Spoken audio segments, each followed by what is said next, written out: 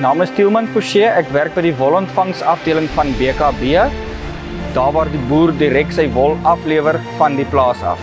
Ek maak seker dat die wol reg op die veiling aangebied word en dat die proses so maklik as moontlik vir die boer gerieflik is en dat hy sy SMS'e en gewigs SMS'e ontvang. So hoekom daai proses belangrik is, jy moet daai wol so vinnig as moontlik deur die stelsel kry. Die boer soek sy gewig. Hy wil hy wil weet wat is sy gewig want hy wil sy opbrengste kan bepaal wat hy gaan wat sy wolcheck werd is en om begrotings te doen en seker te maak hy kan al sy onkoste dek.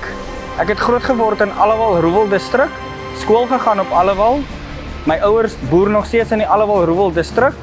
Na skool het ek op Grootfontein Landbou College gaan studeer waar ek dan 'n geleentheid gekry het om by BKB te begin werk.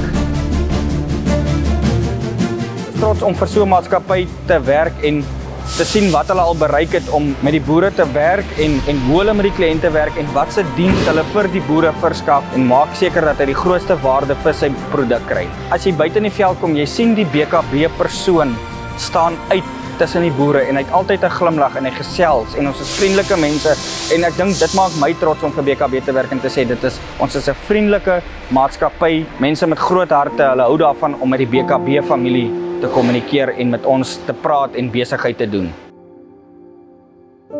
Ek wil net dankie sê vir BKB dat hulle my raak gesien het om by hulle te begin werk 6 jaar terug en ek dink ek self um met hoe ek te werk gaan sien my net 'n blink toekoms in BKB en ek wil net weer eens baie dankie sê dat hulle my die geleentheid gegee het.